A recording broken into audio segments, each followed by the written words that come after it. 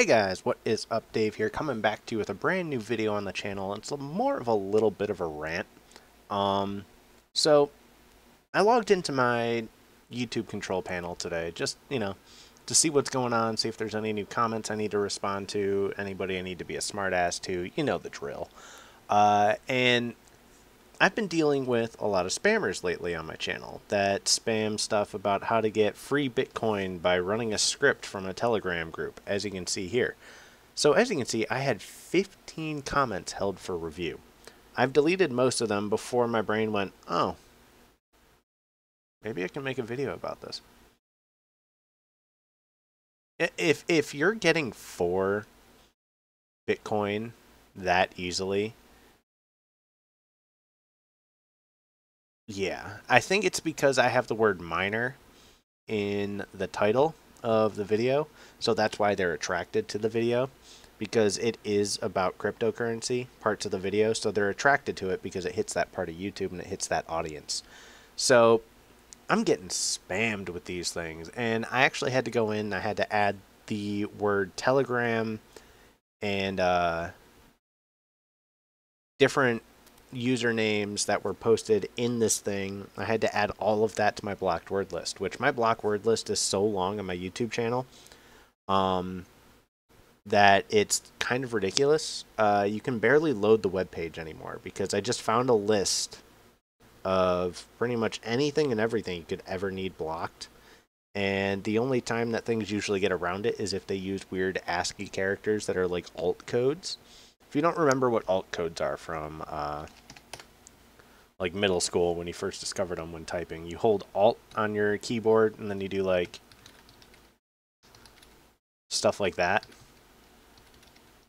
So you hold um, alt on your keyboard and you just type using the number pad and they're called alt codes. So for example, you do 115 is an S. You do 015. That's not anything.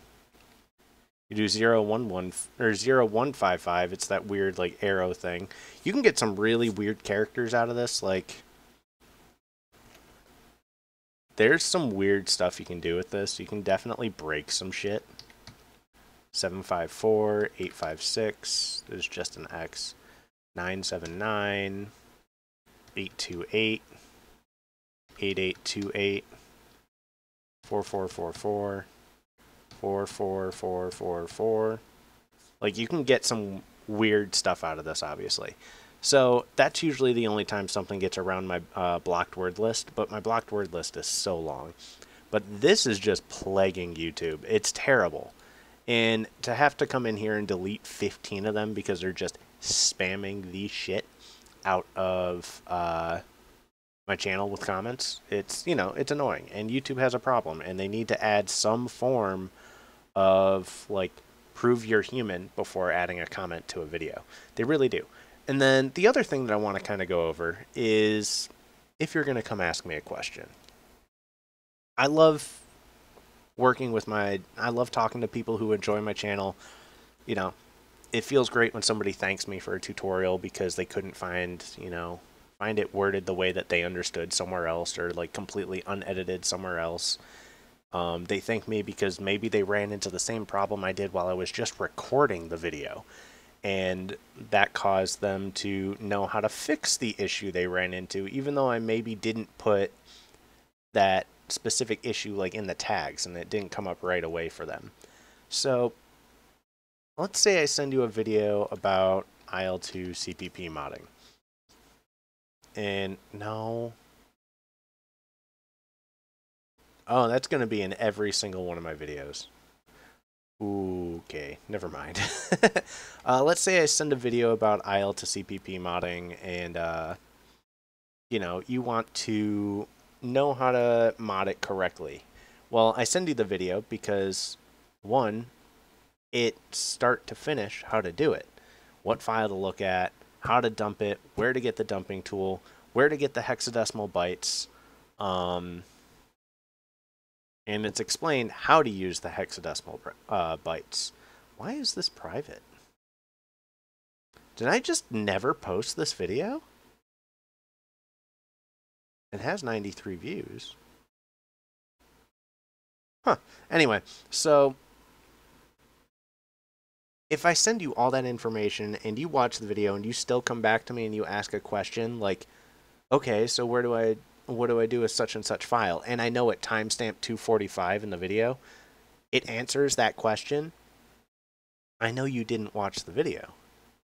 So what's what's the point in me wow i didn't know i had that um, so what's the point in me honestly helping people or giving them answers if they're just not going to look anyway uh, it, it really just kind of sucks it it sucks because it's a waste of my time you didn't put in enough time to even show initiative and things like that like uh, you know i'm thankful for the guy that messaged me this morning he thanked me for the fact i'm putting up tutorials and stuff like that but he didn't know about IL2CPP yet because he found one of my videos about old DLL modding. Um, or DLL hacking for Unity 3D, and he realized the game he was modding didn't have the DLL files. So how does he mod it? Um, and he came and he asked me, so I gave him a link to the video that explained it, how to get the file, where to download it. Comes back minutes later. Minutes. Literally minutes later and says, okay, I've edited this file. Where do I put it? And he says which file he modified. He modified the dump.cs. And if you know anything about downloading, uh, if you know anything about downloading um, or modding IL2CPP, you use hexadecimal bytes to modify the lib il2cpp.so file. Simple enough. Really, really stupid simple. And he came back and told me he modified a different file. I'm not going to say who he is because I don't want to like embarrass him or anything. And he came back and he said, "Okay, where do I put this? Do I put this in I modified this file with Notepad. Do I put it in this location, this location, or this location?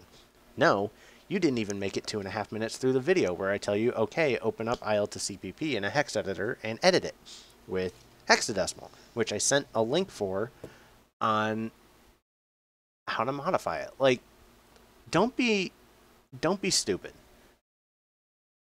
If I tell you a video answers every question you're about to ask me, unless it's like, how do I do a certain byte? Let's say you want to do an enum modification. Okay, that I'll probably have to explain because it's not in the video, but I have literally an entire web page uh, right here. I have literally an entire web page dedicated to V7A bytes.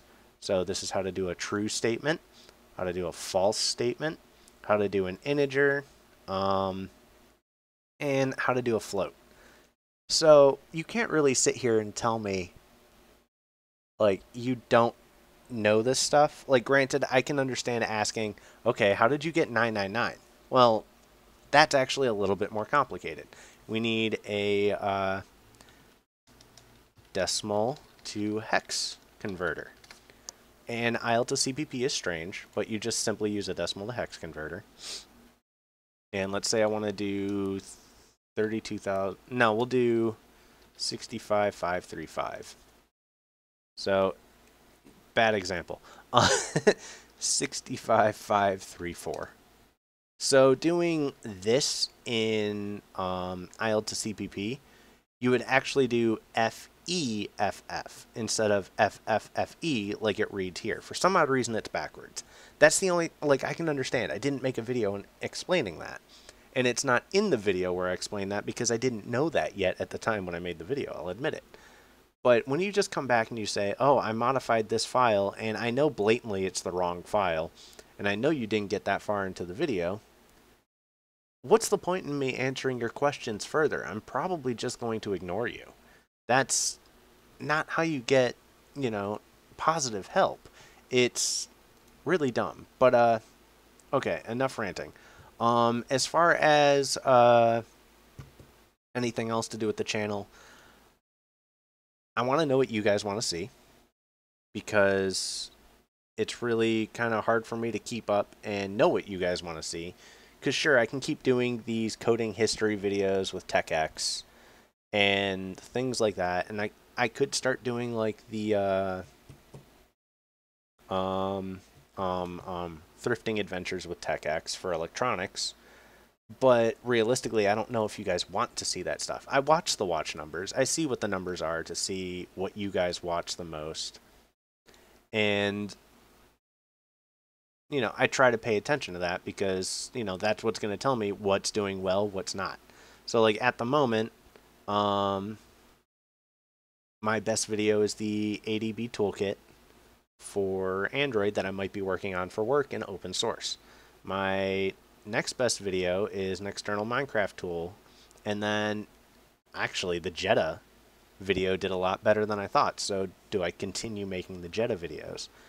Um, realistically, or Midnight Club 3 Dub Edition modding, 87 views, or the browsing the gotcha thingy, um, 143 views. That did really well because it's Pokemon Go. So do I make more Pokemon Go content again, or like what do I do? Wow, COD data mining. I maybe I should mod COD mobile. Obviously, this got views because it's about Bitcoin, so all the bots are basically nailing it and raising the views. Uh, wow, this wasn't that long ago, actually. I didn't realize that. I was playing that track last night to see how I was doing. Um, but like, it's what videos should I keep doing? Do you guys, what do you guys want to see? Let me know in the comments down below. I'm done ranting for now. Sorry that this is Monday's video. This is the first video of the week. is basically me ranting. Uh, but sometimes you just have to do it. And I'm not trying to sound like a shitty YouTuber that's complaining all the time because I, that's not what I want to be. But uh, seriously, don't be stupid. If you're going to ask a question, make sure you did your research first and make sure, you know, the video that maybe I link you for the answer, watch the whole thing because I know the answer is in that video. So I'll talk to you guys later. Peace out.